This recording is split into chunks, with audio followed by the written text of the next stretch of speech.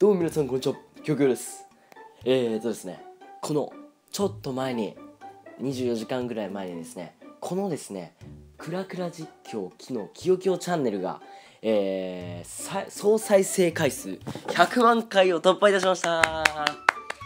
いや、すごい。いや100万回？まあなんか、再生、なんか、まあいろいろ出るんですよ、なんか統計みたいのが。まあその、このチャンネルの、主に見ている男女比はどどのぐらいかとかあとはその平均な再生時間とかあとはその総再生分。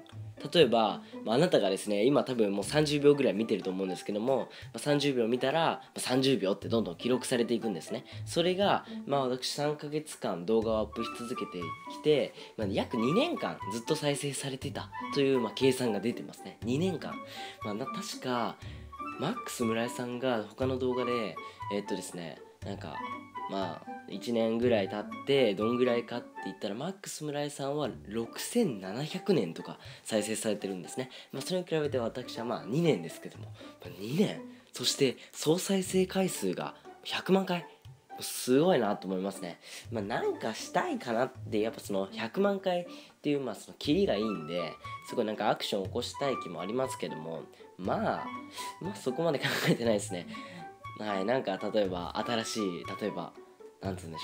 ょうお祝いに課金しちゃおうみたいなそういうのないっすね実際。まあでもちょっとねあの今そのリスナーさんとやっぱそのなんつうんでしょう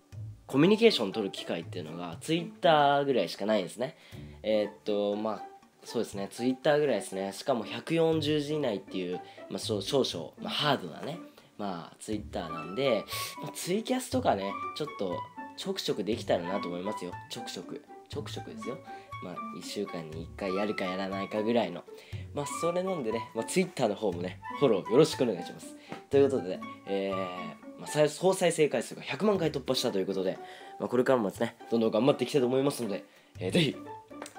まだチャンネル登録されてない方とかぜひねチャンネル登録していただいてまあ応援してくれたら嬉しいです。ということでご視聴ありがとうございました。